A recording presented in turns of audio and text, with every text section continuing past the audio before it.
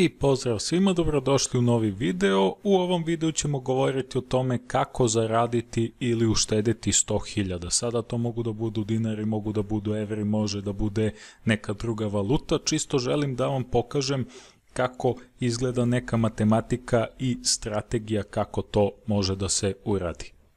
Mi ćemo u ovom videu raditi model i računicu za 100.000, ali ako vi želite recimo 10.000, bukvalno sve one rezultate koje dobijemo podelite sa 10. Ili ako želite milion ili 10 miliona, onda rezultate koje smo dobili za 100.000 pomnožite ili sa 10 ili sa 100. Konkretan model koji ćemo razmatrati ovde u videu je kako da za jednu godinu uštedimo ili zaradimo 100.000 dinara, odnosno to je u evrima oko 850 evra, Sad, što se tiče uštede, to je lepa suma, ali što se tiče zarade, složit ćete se da je to mala suma da se zaradi na godišnjem nivou. Ali opet kažem, ako vam se ovaj model ne sviđa, ako hoćete da zaradite 10 puta više, samo na ove brojeve što dobijamo, množite sa 10.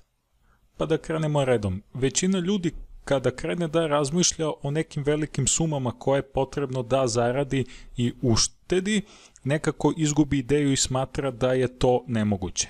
Ali mnogo bi lakše bilo da dođete do tih ušteđenih ili zarađenih para ako uspete tu konačnu cifru koju želite da zaradite ili da uštedite, jednostavno da razbijete na e, više nekih manjih celina. Konkretno, ako imate godinu dana da uštedite 100.000 dinara, to znači da imate 365 dana da to uradite.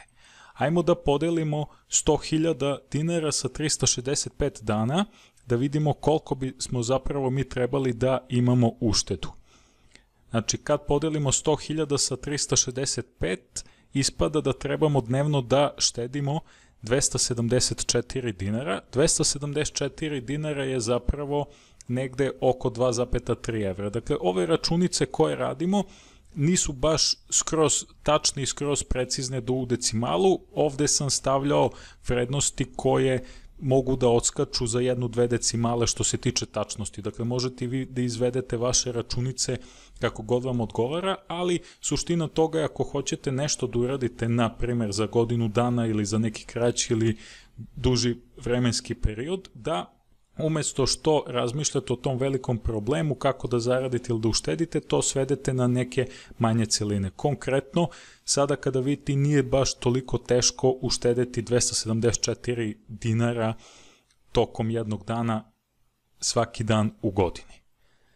Sledeća stvar, možete ovaj model i da pojednostavite, jer potrebno je da zaradite 274 dinara za jedan dan, a taj jedan dan ima 24 časa, što znači da ako podelimo 274 sa 24 dobijemo cifru od 11,5 dinara.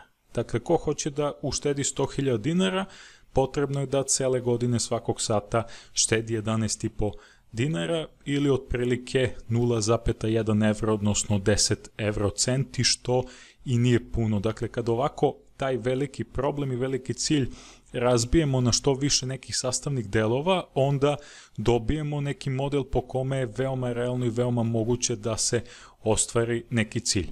E sad neko će reći a, zašto mi tu da štedimo ili da radimo 7 e, dana nedeljno, 365 dana u godini, 24 časa dnevno.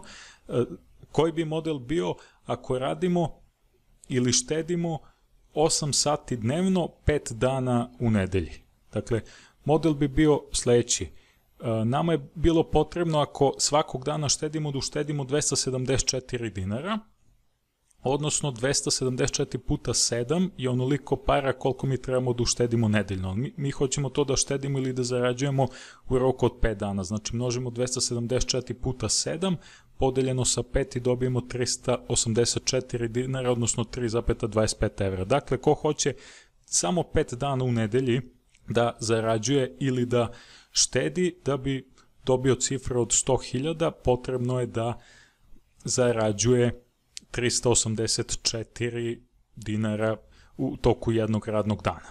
E sad, opet, ako imamo model po po kome hoćemo da radimo samo 5 dana nedeljno ili da štedimo i da za to potrošimo 8 sati, onda samo ovu poslednju cifru koju smo dobili 384 podelimo sa 8 i dobijemo 48 dinara. Dakle, ko želi da štedi ili zarađuje u 40-časovnom radnom vremenu, tokom godine potrebno je da zaradi 48 dinara na sat ili da uštedi, odnosno 0,4 evra, odnosno 40 eurocenti.